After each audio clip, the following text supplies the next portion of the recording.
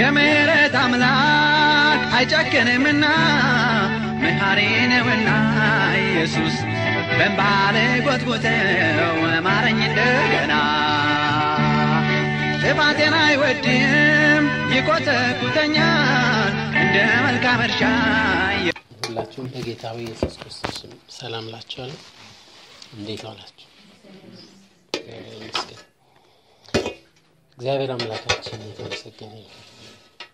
እግዚአብሔር ይህንን እድል እንደገና ስለሰጠን እግዚአብሔር የተመሰገነ እግዚአብሔር አምላካችን የተመሰገነ ዛሬም እግዚአብሔር ይናገረናል።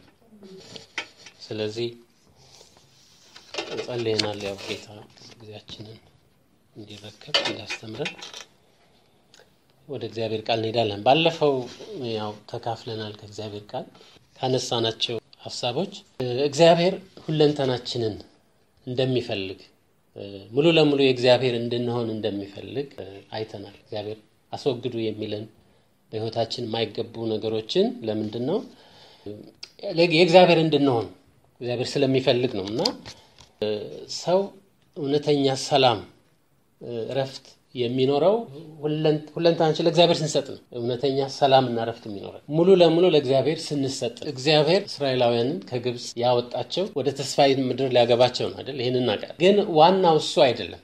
እንደ እግዚአብሔር ቃል ስንመለከት ወተትና ማር ታፈስ ምድር ሊያወርሳቸው ነው። ግን ዋናው እሱ አይደለም። ዘጸአት ምዕራፍ 19 ቁጥር አራት ላይ ሄደን አንድ ቃል እናነባለን። ልክ ነው እግዚአብሔር ከግብፅ ባርነት ነፃ ያወጣቸው ወደ ተስፋይቱ ምድር ወተትና ማር ወደምታፈሰው ምድር ሊያስገባቸው ነው። ግን እሱ ሁለተኛ ነው። ዋናው ነገር እዚህ ዘጸአት 14 19 ቁጥር አራት ላይ እንደዚህ ይላል። በጌታ በኢየሱስ አነባለሁ። በግብፃውያን ያደረግኩትን በንስርም ክንፍ እንደተሸከምኳችሁ ወደ እኔም እንዳመጣኋችሁ አይታችኋል ይላል። ምንድን ነው የሚለው? በግብፃውያን ያደረግኩትን በንስርም ክንፍ እንደተሸከምኳችሁ ወደ እኔም እንዳመጣኋችሁ አይታችኋል። ምንድን ነው የሚለው? እግዚአብሔር ወደ እኔ ነው። እግዚአብሔር ወደ ራሱ ነው ህዝቡን ሊያመጣ አይፈለግም። ልክ ነው። ወደዛች ወተትና ማር ወደምታፈሰው ወደ ተስፋይቱ ምድር ሊያገባቸው ነው እግዚአብሔር ዓላማ።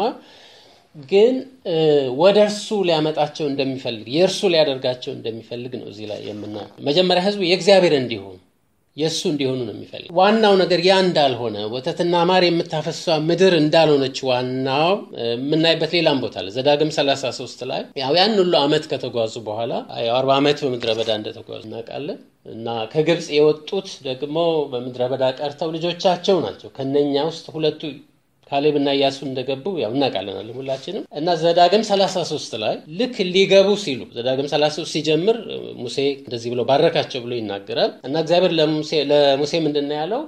እንደዚህ አሻግረህ ታያለህ ግን አትገባም ብሎት እንደነበር እናውቃለን። እና ደርሰዋል። እንደዚህ አሻግረው የሚታይበት ቦታ ድንበር ላይ ነው ያለ እና እዛ ቦታ ላይ ሙሴ ምን ይላቸዋል? ያው መኖሪያ የዘላለም አምላክ ነው፣ የዘላለም ክንዶች ከአንተ በታች ናቸው የሚል ቃል አለ።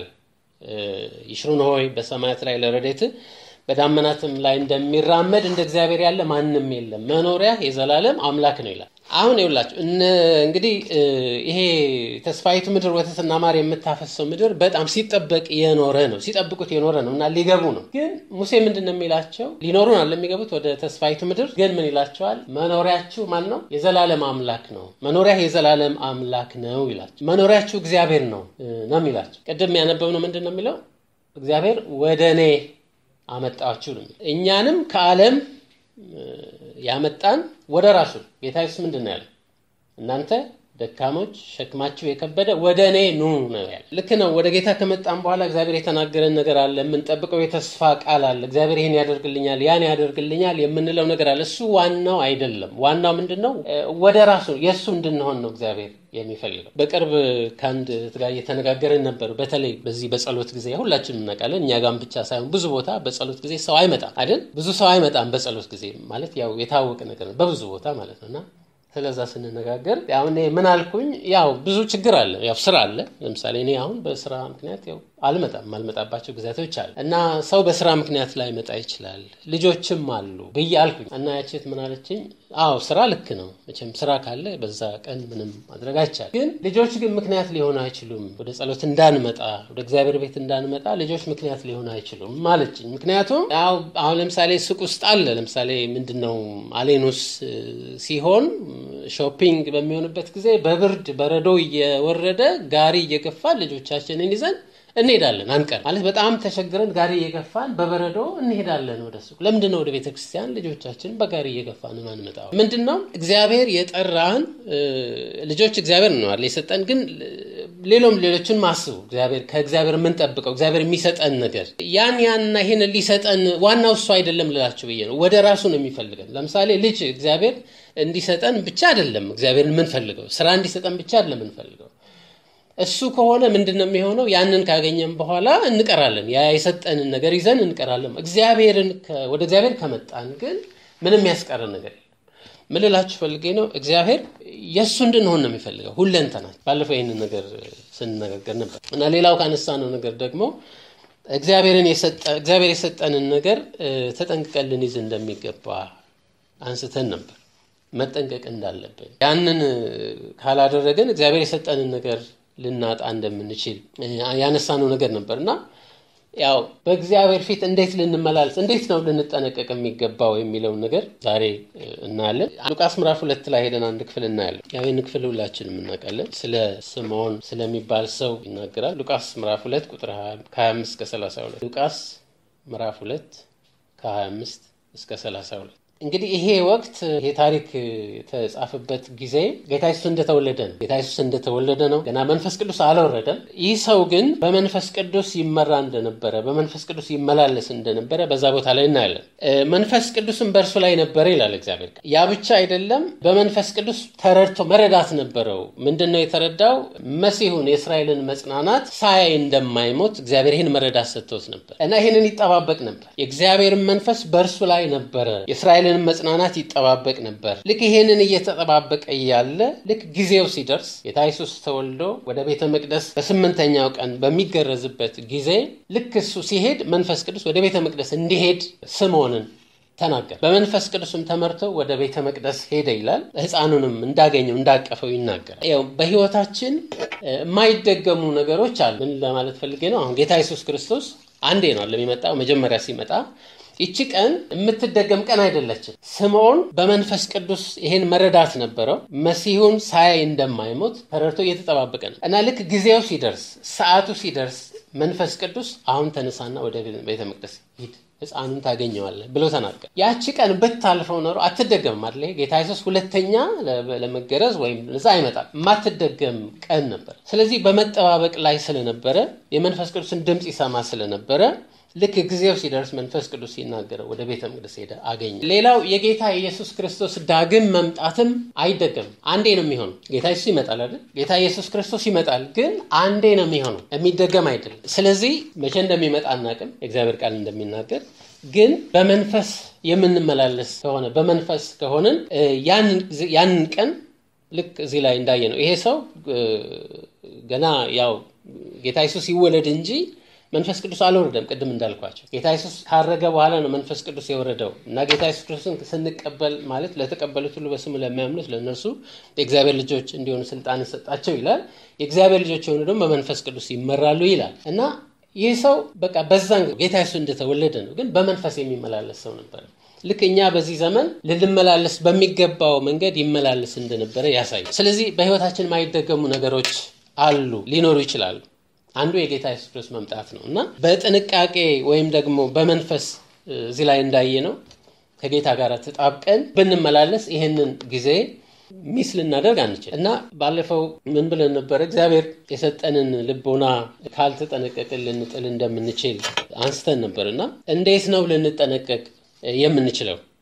ሁለተኛ ጴጥሮስ ምዕራፍ አንድ ቁጥር 14 ላይ ሄደን አንድ ክፍል እናያለን። ሁለተኛ ጴጥሮስ ምዕራፍ 1 ከ13 ጀምሬ ሁል ጊዜም በዚህ ማደሪያ ሳለሁ በማሳሰቤ ላነቃችሁ የሚገባኝ ይመስለኛል። ጌታችን ኢየሱስ ክርስቶስ እንዳመለከተኝ ከዚህ ማደሪያ መለየቴ ፈጥኖ እንዲሆን አውቃለሁና ከመውጣቴም በኋላ እነዚህን ነገሮች እንድታስቡ በየጊዜው ትችሉ ዘንድ እተጋለሁ። የእርሱን ግርማ አይተን እንጂ በብልሃት የተፈጠረውን ተረት ሳንከተል የጌታችንን የኢየሱስ ክርስቶስን ኃይል መምጣት አስታወቅናችሁ። ከገናናው ክብር በእርሱ ደስ የሚለኝ የምወደው ልጄ ይሄ ነው የሚል ያ ድምፅ በመጣለት ጊዜ ከእግዚአብሔር አብ ክብርና ምስጋናን ተቀብሏልና እኛም በቅዱሱ ተራራ ከእርሱ ጋር ሳለን ይህን ድምፅ ከሰማይ ሲወርድ ሰማን። ከእርሱም ይልቅ እጅግ የጸና የትንቢት ቃል አለን። ምድርም እስኪጠባ ድረስ የንጋትም ኮከብ በልባችሁ እስኪወጣ ድረስ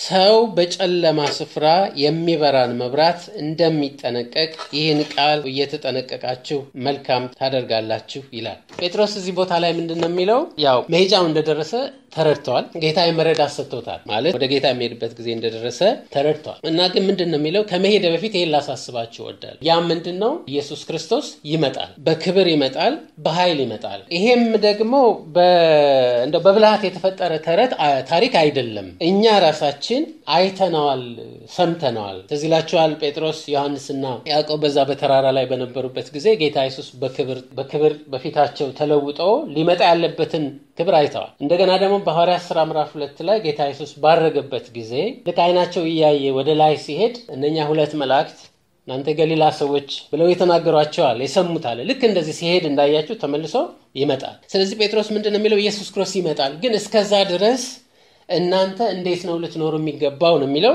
ልክ በጨለማ ስፍራ የሚበራን መብራት ሰው ተጠንቅቆ እንደሚይዝ እየተጠነቀቃችሁ ልትጠባበቁ ይገባል ነው የሚለው። ሰው በጨለማ ስፍራ የሚበራ መብራት እንዴት እንደሚይዝ እግዚአብሔር ቃል እናንተ የዓለም ብርሃን ናችሁ ይላል። ማለት ዓለም ምንድን ነው ማለት ነው? ጨለማ ነው ማለት ነው። በዚህ ምድር በዚህ ምድር ስንኖር የበራልን ብርሃን ምን አይነት ብርሃን ነው የሚለው እዚህ ጋር ልክ በጨለማ ስፍራ እንደሚበራ ማለት ጌታ ኢየሱስ ሲመጣ ነው ሙሉ ብርሃን የሚሆነው። ፊት ለፊት ጌታን በምናይበት ጊዜ ያን ጊዜ ጳውሎስ ምንድን ነው የሚለው? ልክ ፊት ለፊት እናየዋለን ይላል። ሌላ ቦታ ላይ ደግሞ ጌታ ኢየሱስ በሚመጣበት ጊዜ ወይም ደግሞ ስለ አዲስቷ ኢየሩሳሌም ሲናገር ፀሐይም እና ጨረቃ አያስፈልጋትም። በጉ ራሱ ምን ይሆናል? ብርሃኗ ይሆናል። እግዚአብሔር ራሱ ብርሃን እንደሚሆን ይናገራል። ስለዚህ አሁን የበራልን ብርሃን በሕይወታችን የበራው ብርሃን ልክ እንደዚህ አይነት ብርሃን በጨለማ ስፍራ እንደሚበራ ሰው በጨለማ ስፍራ የሚበራን መብራት እንደሚጠነቀቅ ልትጠነቀቁ ይገባል። ምክንያቱም ይህን የምኖርበት ዓለም ምንድነው? ጨለማ ነው። እኛ ህይወታችን ውስጥ ብርሃን በርተዋል። ስለዚህ ይህንን የበራልንም ብርሃን እንዴት ልንጠነቀቅ እንደሚገባ ነው እዚህ ቦታ ላይ የሚናገር። እግዚአብሔር አምላካችን የተመሰገነ ይሁን። እግዚአብሔር ያበራልን ብርሃን ተጠንቅቀን ልንጠባበቅ እንደሚገባ እግዚአብሔር ቃል ይናገራል። መጽሐፍ ቅዱስ ላይ ብዙ ቦታ እግዚአብሔር ቃል እንደዚህ የሚል ሀሳብ አለ። በተለይ እግዚአብሔር እንዲጠነቀቁ ከተናገራቸው በኋላ ባለመጠንቀቅ በሆኑት ነገሮች ላይ ሲናገር አልተጠነቀቀምና የሚል ቃል እንመለከታል። ለምሳሌ በሁለተኛ ነገሥት ምዕራፍ 10 31 ላይ እንደዚህ የሚል ቃል አለ። እዩ ግን በእስራኤል አምላክ በእግዚአብሔር ሕግ በፍጹም ልቡ ይሄድ ዘንድ አልተጠነቀቀም፣ እስራኤልንም ካሳተው ከኢዮርብዓም ኃጢአት አልራቀም ይላል። በተለይ እግዚአብሔርን ደስ ያሰኙ ሰዎች፣ እግዚአብሔርን ፈቃድ ያደረጉ ሰዎች ጥሩ ሄደው ሄደው ነገር ግን ብሎ እግዚአብሔር የሚላቸዋል። ለምሳሌ እዩ አንዱ ነው። ጌዴዎንም ትዝ ይላችሁ እንደሆነ ጣዖታትን ከአባቱ ቤት ከምድር ላይ ካጠፋ በኋላ መጨረሻ ላይ ግን ነገር ግን በዚህ እስራኤልን ካሳተበት ከኢዮርብዓም ኃጢአት አልራቀም ብሎ ይላል። ብዙዎችን እንደዚህ የሚላቸው ይሄ የኢዮርብዓም ኃጢአት ምንድን ነው ለመሆኑ? ማለት እነ እዩ እነ ጌዴዎን ሌሎችም እግዚአብሔርን ደስ ያሰኙ ፈቃዱን ያደረጉ ሰዎች ናቸው። ብዙ ከሄዱ በኋላ ግን አንድ ወቅት ላይ በቃ እንደ ማነቆ የሆነባቸው እግዚአብሔር ልክ መጨረሻ ላይ ሊደርሱ የሚገባው ላይ ሳይደርሱ እንዲቀሩ የሆኑበት ነገር ስለሆነ ብዙ ቦታ ላይ እስራኤልን ካሳተበት ከኢዮርብዓም ኃጢአት አልተጠነቀቀም አልተጠነቀቁም እያለ ብዙ ቦታ ይናገራል እና ስለዚህ ነገር እያሰብኩኝ በተለይ ስለመጠንቀቅ ይሄን የኢዮርብዓም ኃጢአት ምንድን ነው የሚለው ነገር ከእግዚአብሔር ቃል ስመለከት በተለይ በዚህም ዘመን በቤተ ክርስቲያን በእኛም ሕይወት ማለት ነው ልንጠነቀቅባቸው የሚገቡ ነገሮች እንዳሉ ከዛ ክፍል አይቻለሁ እና እሱን እንመለከታለን። መጽሐፈ ነገሥት ቀዳማዊ ምዕራፍ 11 ላይ ሄደን እናነባለን እና የዚህ ዕለት መልእክት ዋናው ሀሳብ ያለው እዚህ ላይ ነው። መጽሐፈ ነገሥት ቀዳማዊ ምዕራፍ 11 በዚህ ክፍል ውስጥ ኢዮርብዓም ማን ነው? እግዚአብሔርስ ኢዮርብዓምን ለምንድን ነው ያነገሰው? ኢዮርብዓምስ ደግሞ ምንድን ነው ያደረገው? በተለይ ብዙዎችን ብዙ የእግዚአብሔርን ሰዎች እግዚአብሔርን ቅድም እንዳልኳችሁ ደስ ያሰኙ ሰዎች ሄደው ሄደው ከኢዮርብዓም ኃጢአት ግን አልራቀም፣ አልተጠነቀቀም እያለ የሚላቸው ሰዎች አሉ እና እንዲያውም አሁን እናየዋለን። በቃ መጨረሻ ላይ ሰለሞንም ከሞተ በኋላ ነው ኢዮርብዓም የነገሰው እና በኢዮርብዓም ሕይወት መጨረሻ ላይ እግዚአብሔር በጣም ተቆጥቶ እንደገና ሕዝቡን እስራኤልን ሕዝብ እንደገና እንደሚበትናቸው ከዚህ ኃጢአት የተነሳ የተናገረበት ነው እና እስኪ ያንን ሄደን እናያለን። ምዕራፍ 11 ላይ አብረን እናነባለን። የተወሰነውን ምዕራፍ 11 ሲጀምር ስለ ሰለሞን ነው የሚናገረው። ሙሉውን አላነበም። እስኪ ጥቂት ንጉሱም ሰለሞን ከፈርዖን ልጅ ሌላ በሞዓባውያንና በአሞናውያን በኤዶማውያንም በሶዶማውያንም በኬጢያውያንም ሴቶች በብዙ እንግዶች ሴቶች ፍቅር ተነደፈ። እግዚአብሔርም የእስራኤልን ልጆች አምላኮቻቸውን ትከተሉ ዘንድ ልባችሁን በእውነት ያስታሉና ወደ እነርሱ አትግቡ፣ እነርሱም ወደ እናንተ አይግቡ ካላቸው ከአሕዛብ ከእነዚህ ጋር ሰለሞን በፍቅር ተጣበቀ። ሚስቶቹም ልቡን አዘነበሉት። ሰለሞንም ሲሸመግል ሚስቶቹ ሌሎችን አማልክት ይከተል ዘንድ ልቡን አዘነበሉ። ትንሽ ወደ ታች ወረድ ብለን እናነባለን። ቁጥር ሰባት ላይ በዚያን ጊዜም ሰለሞን ለሞዓብ እርኩሰት፣ ለካሞሽ ለአሞንም ልጆች እርኩሰት፣ ለሞሎክ በኢየሩሳሌም ፊት ለፊት ባለው ተራራ ላይ መስገጃ ሰራ። ለአማልክቶቻቸው ዕጣን ለሚያጥኑ መስዋዕትም ለሚሰዉ ለእንግዶች ሚስቶች ሁሉ እንዲሁ አደረገ። ሁለት ጊዜም ከተገለጠለት ሌሎችንም አማልክት እንዳይከተል ካዘዘው ከእስራኤል አምላክ ከእግዚአብሔር ልቡን አርቋልና እግዚአብሔር የሚያዘዘውን ነገር አልጠበቀም። እግዚአብሔር ሰለሞንን ተቆጣ። እግዚአብሔርም ሰለሞንን አለው ይህን ሰርተሃልና ያዘዝኩህንም ቃል ኪዳኔን ስርዓቴን አልጠብክምና መንግስትን ከአንተ ቀድጄ ለባሪያህ እሰጠዋለሁ አለው ይላል። ይሄ ባሪያህ የሚለው ኢዮርብዓምን ነው። ለባሪያህ እሰጠዋለሁ፣ ነገር ግን ከልጅህ እጅ ቀደዋለሁ እንጂ ስለ አባትህ ስለ ዳዊት ይህን በዘመንህ አላደርግም። ነገር ግን ስለ ባሪያህ ስለ ዳዊትና ስለ መረጥኳት ስለ ኢየሩሳሌም ለልጅህ አንድ ነገር እሰጣለሁ እንጂ መንግስቱን ሁሉ አልቀድም ይላል። ይሄ ለባሪያህ ያለው ኢዮርብዓም ነው። ቁጥር 28 ላይ ስንመለከት ምን ይላል? ኢዮርብዓምም ጽኑ ኃያል ሰው ነበረ። ሰለሞንም ጎልማሳው በስራ የተመሰገነ መሆኑን ባየ ጊዜ በዮሴፍ ነገር ስራ ሁሉ ላይ ሾመው ይላል። በዚያን ጊዜም ኢዮርብዓም ከኢየሩሳሌም ወጣ። ሴሎናዊው ነቢዩ አኪያ በመንገድ ላይ ተገናኘው። አኪያም አዲስ ልብስ ለብሶ ነበረ። አኪያም የለበሰው ልብስ ይዞ ከአስራ ሁለት ቆራረጠው። ኢዮርብዓምንም አለው። እዚህ ቦታ ላይ ምንድን ነው የሆነው? ቅድም እንዳልኳችሁ ኢዮርብዓም የሰለሞን ባሪያ ነው እና እግዚአብሔር ምንድን ነው ያለው ሰለሞንን ከአንተ መንግስትን ቀድጄ ለባሪያ እሰጠዋለሁ አለው እና ይሄ ሰው ደግሞ እዚህ ቦታ ላይ እንደምናየው አካያ የሚባለው ነቢይ ያገኘውና ምን ይለዋል? ይሄን የለበሰውን ልብስ አዲስ ልብስ ለአስራ ሁለት ቦታ ይቆራርጥና አስሩን ውሰድ ይለዋል እና አስሩን እስራኤል ነገድ ለአንተ እሰጣለሁ፣ በአስሩ ነገድ ላይ አንተ ትነግሳለህ ይለዋል እና በዚህ ሁኔታ የነገሰ ሰው ነው እንግዲህ ኢዮርብዓም ማለት። ወደ ታች ቁጥር 31 ላይ እነሆ ከሰለሞን እጅ መንግስቱን እቀዳለሁ፣ አስሩንም ነገዶች እሰጥሃለሁ። ስለ ባሪያ ስለ ዳዊት ከእስራኤልም ነገድ ስለ መረጥኳት ከተማ ስለ ኢየሩሳሌም ግን አንድ ነገድ ይቀርለታል፣ ጥለውኛልና ለሲዶናውያን አምላክ ለአስታሮት ለሞዓባም አምላክ ለካሞሽ ለአሞንም ልጆች አምላክ ለሚልኮል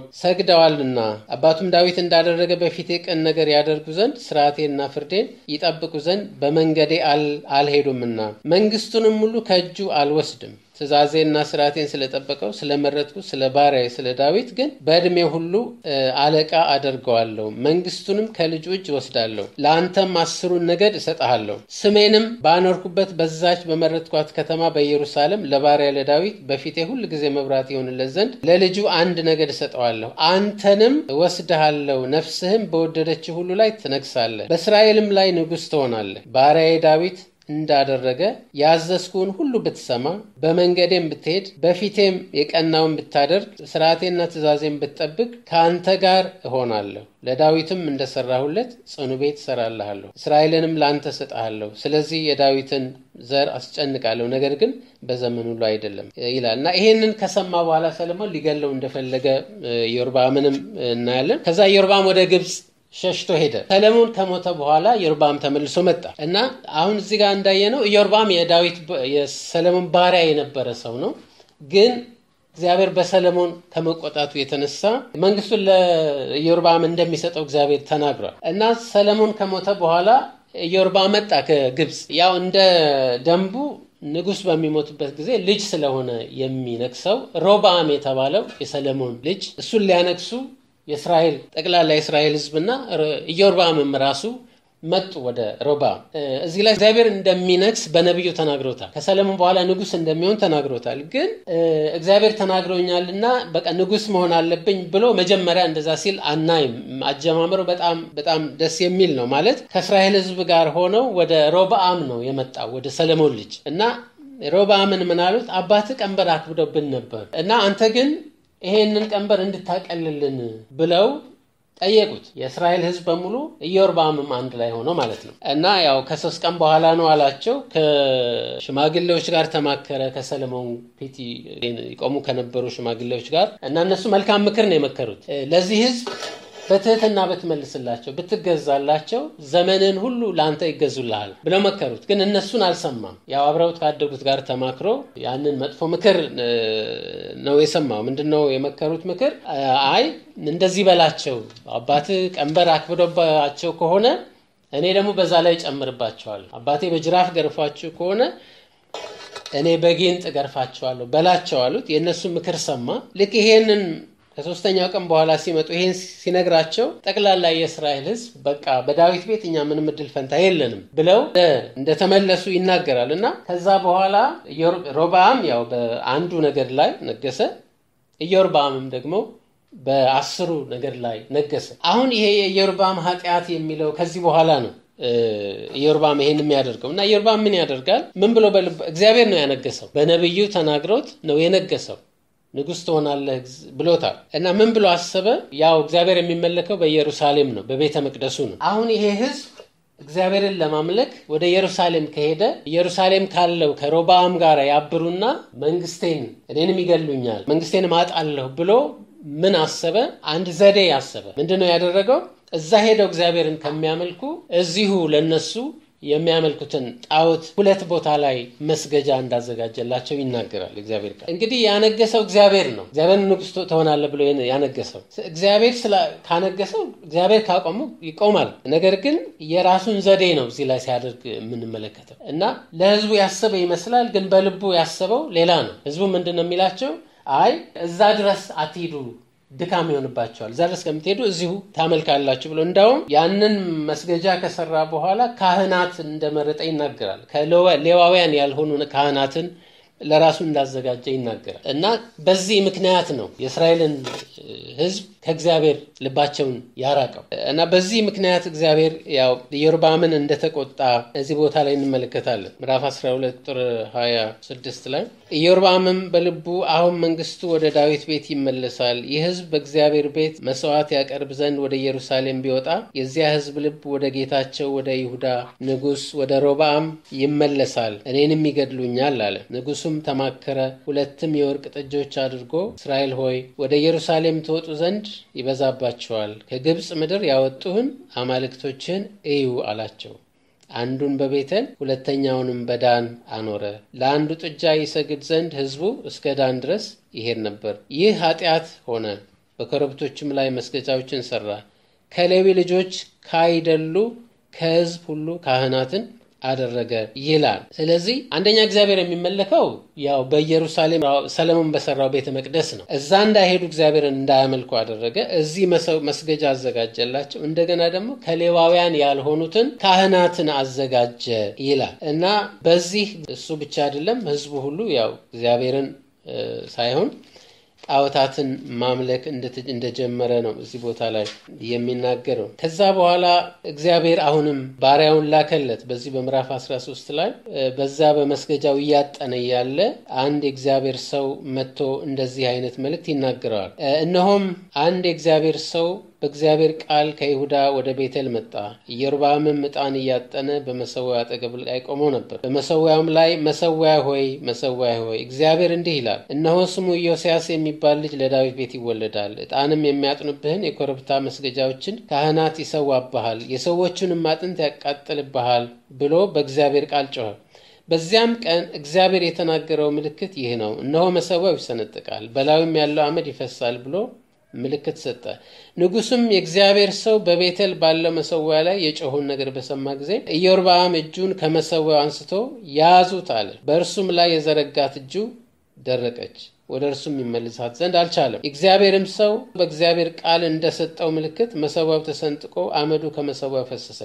ንጉሱም የእግዚአብሔርን ሰው አሁን የአምላክህን የእግዚአብሔርን ፊት ለምን፣ እጄም ወደ እኔ ትመለስ ዘንድ ስለ እኔ ለምን አለው፣ ጸልይ አለው። እዚህም ላይ ማለት ይህንን እያደረገ እያለ እግዚአብሔር መልእክተኛን ላከበት እዚህ ቦታ ላይ እና ስለ መሰዊያው ስለሚሆነው ነገር ሲናገር ልክ እንደተናገረው በሚሆንበት ጊዜ ንጉሱ ያዙት ብሎ እጁን ሲዘረጋ እጁ እንደደረቀች ቀረች ይላል እዚህ ቦታ ላይ። እንደገና እሱን ራሱን እንደገና ለምን ወደ እግዚአብሔር ወደ አምላክ እጄ እንድትመለሳለ ጸለይለት፣ ተመለሰ። ይሄንም እያየ እዚህ ጋር አልተመለሰም። ይሄኛውንም እያየ አልተመለሰም። ከዚህ በኋላም ኢዮርብዓም ከክፉ መንገዱ አልተመለሰም። ነገር ግን ለኮረብታዎቹ መስገጃዎች አብልጦ ከሕዝብ ሁሉ ካህናትን አደረገ። የሚወደውንም ሙሉ ይቀድስ ነበር። እርሱም ለኮረብቶቹ መስገጃዎች ካህን አደረገ፣ ካህን ይሆን ነበር እስኪፈርስም ከምድርም እስኪጠፋ ድረስ ይሄ ነገር ለኢዮርብዓም ቤት ኃጢአት ሆነ ይላል። ስለዚህ አሁን ስለ ኢዮርብዓም ነው እንግዲህ በዚህ ክፍል እየተመለከት ነው ማለት ነው። ምንድን ነው ለእኛ ማለት በዚህ ዘመን ይሄ ኢዮርብዓም ኃጢአት አለ ወይ? በዘመናችን ወይም በቤተ ክርስቲያን የኢዮርብዓም ኃጢአት አለ ወይ? ምንድን ነው አንደኛ ኢዮርብዓም ያደረገው? አንደኛ ኢዮርብዓም ባሪያ የነበረ ሰው ነው። ከዛ አንስቶ ነው እግዚአብሔር ንጉሥ ያደረገ። እግዚአብሔር አንግሶት ሳለ እግዚአብሔር ካቆመ ሌላ ምንም ድጋፍ አያስፈልግም። እግዚአብሔር ካነገሰ ህዝቡ ምንም ሊያደርገው አይችልም። እግዚአብሔር ነው ያነገሰው። ግን ይገሉኛል፣ ዙፋኔን አጣለሁ ብሎ ነው ይህን ዘዴ የዘየደው። ህዝቡ እኔን ትቶ ወደ ሮብዓም ወደ ኢየሩሳሌም ወደዛ ይሄዳል፣ ወደዛ ይገለበጣል ነው ያለው። አንደኛ እግዚአብሔር ነው ያነገሰው ቅድም እንዳልኳቸው። ሁለተኛ ደግሞ የእስራኤልም ህዝብ ወደ ሮብዓም ሊገለበጥ አይችልም። ምክንያቱም ሮብዓም በነገሰበት ጊዜ ሄደው ቅድም እንዳልን ቀንበር አቅልልልን ብለው ህዝቡ ሲለም ብለው በጠየቁት ጊዜ ምንድን ያደርግ እንዳውም ቀንበር እንደሚያበዛባቸው አባቱ ካደረገው በላይ ክፉ ነገር እንደሚያደርግ ነው የተናገረው እና ከዳዊት ቤት ምንም እድል ፈንታ የለንም ብለው ነው ትተውት። ስለዚህ እግዚአብሔር ዛሬም በአገልግሎት ላይ ሊያስቀምጥ ይችላል። እግዚአብሔር ካስቀመጠ ምንም ሌላ ነገር አያስፈልግም። ማለት እግዚአብሔር አስቀምጠውን ከሆነ ያንን ስፍራ ማንም ሊወስድ አይችልም። የራሳችንን ዘዴ ወይም ደግሞ እግዚአብሔር አገልጋይን ካስነሳና ካስቀመጠ እግዚአብሔር እሱን ያቆመዋል። ምንም ያ ሰው ታኮ አያስፈልገውም። ማለት አገር ቤት መኪና ሲቆም ሁሉ ጊዜ ታኮ ይደረጋል። እዚህ የገጥሞኝ አይቻልም። እግዚአብሔር ካቆመ ሰው ይቆማል። ኢዮርብዓምን እግዚአብሔር ነበር ያነገሰው። እግዚአብሔርን አይደለም የጠየቀው። ይሄ ነገር እንኳን ቢያሳስበው ምን ላድርግ ብሎ እግዚአብሔር መጠየቅ ነበረበት።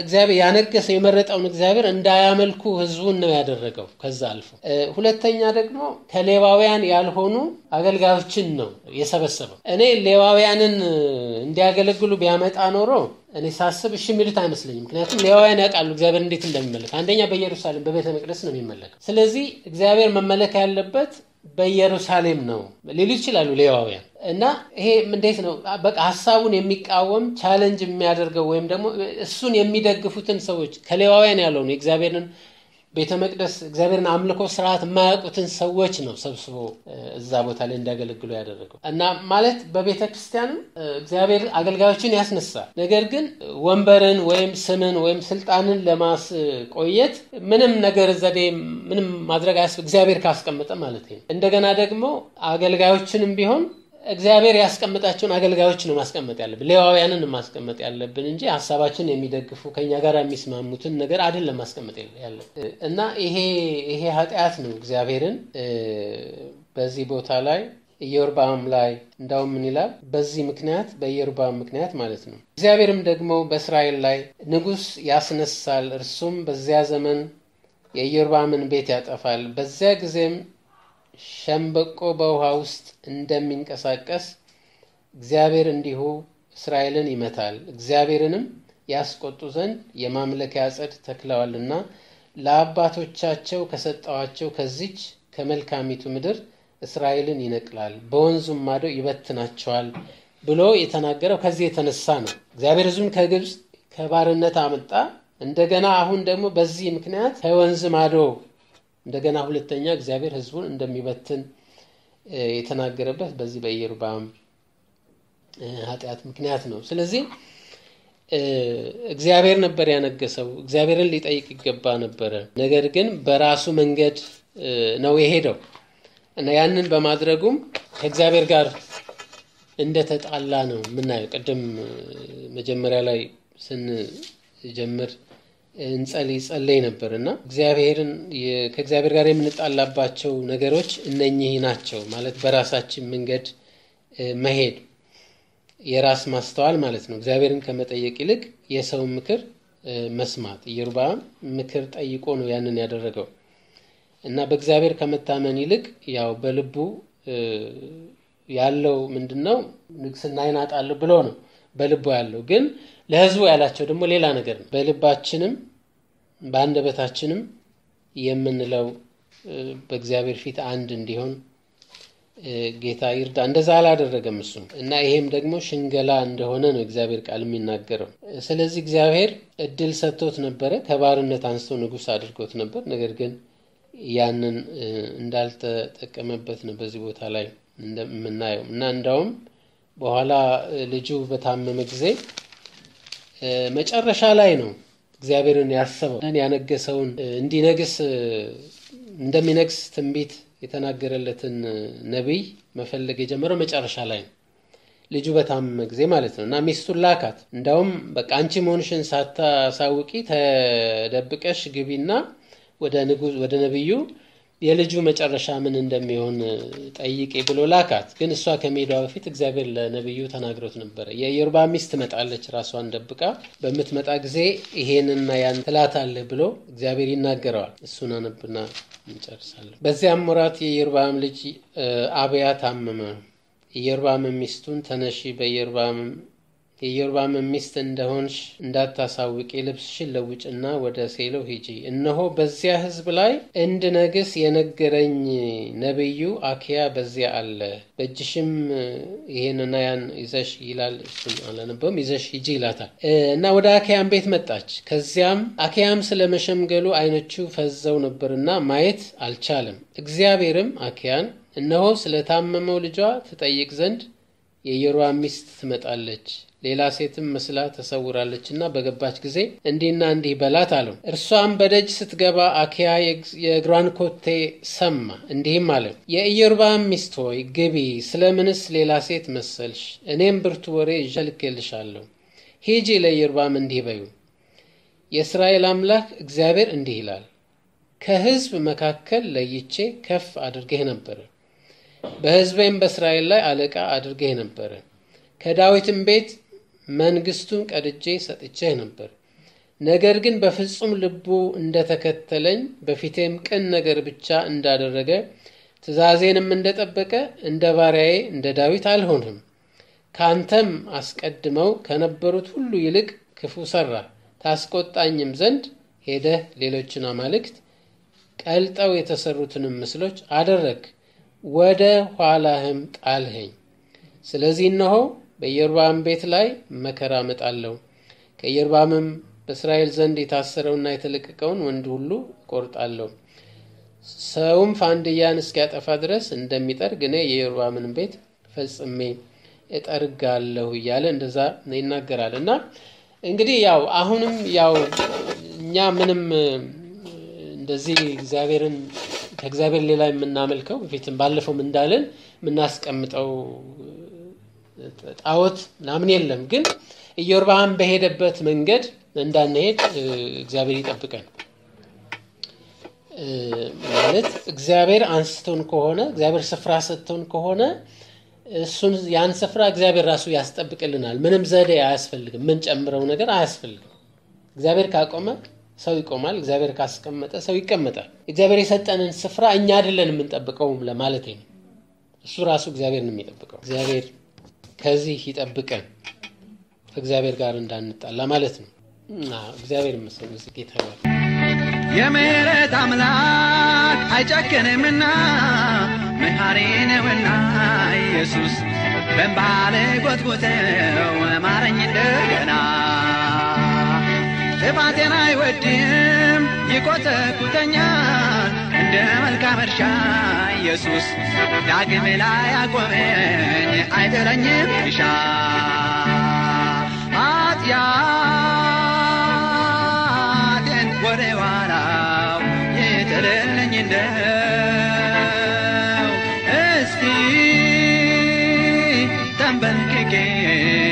ጌታን ልማጸነው ልማጸነው ልማጸነው ልማጸነው።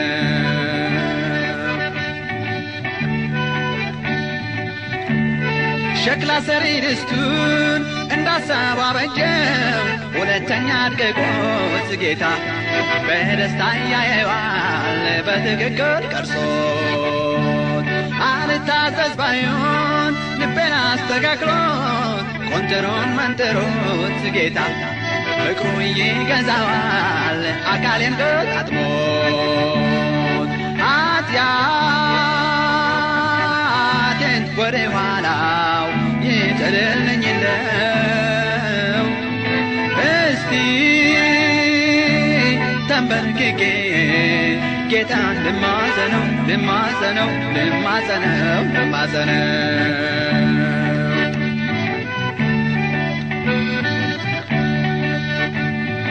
ስጋዬ መዝመቱ በመንፈስ ቀንቶ ሊያዳክመኝ ቃቶ ሽቶ አንዳንዴ ሲረታኝ በቀዳዳ ገብቶ። በእርግጥ ያዝናል ጌታ ይህን ተመልክቶ እጅግ ተጸጽቶ ኢየሱስ በእንባም ያድሰኛል ንስሐዬ ሰምቶ።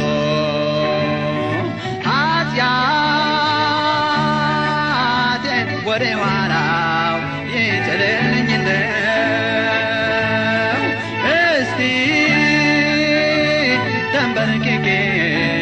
ጌታን እማጸነው እማጸነው እማጸነው እማጸነው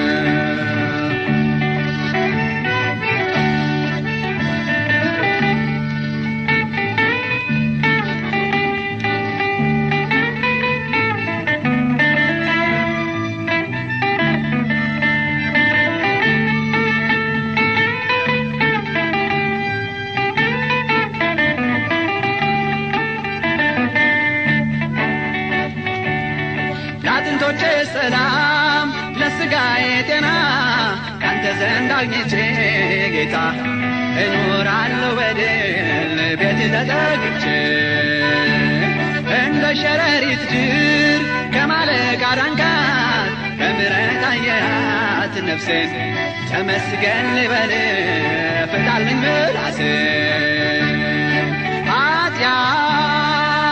ኃጢአቴን ወደ ኋላው ይጥልልኝ እንደው እስቲ